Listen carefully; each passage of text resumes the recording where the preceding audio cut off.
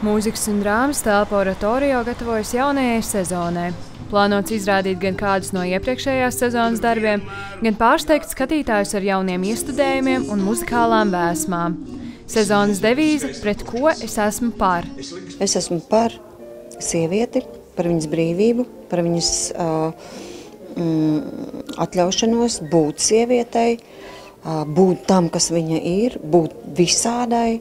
Un tieši visi iestudējumi, mm, kas top gan manā, gan citu aktrišu režijā, būs manifestācija par to, kas ir sieviete. Šajā sezonā mēs esam izvēlējušies, lai lūgas iestudē nevis režisores, bet aktrises, kurām ir ko teikt, un tā ir tāda miedarbība, savstarpēja miedarbība kuru es varētu nosaukt vienā vārdā - dalīšanās.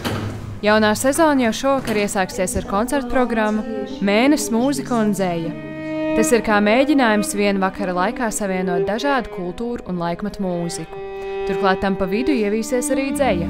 Viņas aicināja un sauca, nāc līdzi. Rīta cēliens beidzas, trīs būs pusdiena, bet es miglainās pārdomās nogrimusi. Mūsu pamatmērķis ir parādīt to, cik svarīgi ir no kurienes mēs nākam. Klasiskajā mūzikā ļoti bieži ir tomēr tāds kodeks, kā visam ir jāizskatās, kā, un mēs gribam to tā kā laust.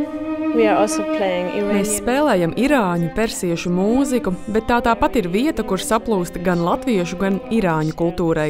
Tas ir interesanti, tīpaši tāpēc, ka tām ir plaša saikne. Parādās arī brīvības elements. Kā jūs redzat uz mana krekla, sievietes, dzīve un brīvība. Manuprāt, tas ir kā sava veida politiskais vēstījums mākslā. Un Zvēniec un Mārtiņš Avots Latvijas televīzija.